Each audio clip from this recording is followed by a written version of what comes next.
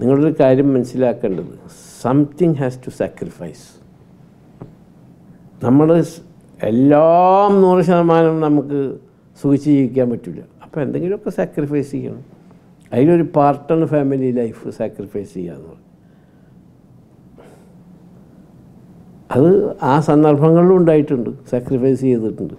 അപ്പോൾ അത് അത് അവരെ സപ്പോർട്ട് ഇല്ലായിരുന്നുവെങ്കിൽ നമുക്ക് മെന്റൽ പീസ് സമാ മാനസിക സമാധാനമാണല്ലോ വേണ്ടത്. മനസ്സിന് സമാധാനം വേണമല്ലോ അപ്പോൾ അത് ഇതുവരെ മെയിന്റെയിൻ ചെയ്ത് പോയിട്ടുണ്ട്.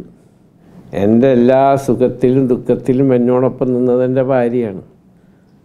എന്നെ ഭാര്യക്കറിയുന്ന മാതിരി ആർക്കും അറിയില്ല. എന്റെ ഓരോ സ്റ്റെപ്പും. അപ്പോൾ you done a good job thank you very much. അപ്പോൾ എന്നോട് താങ്ക് യു പറഞ്ഞു.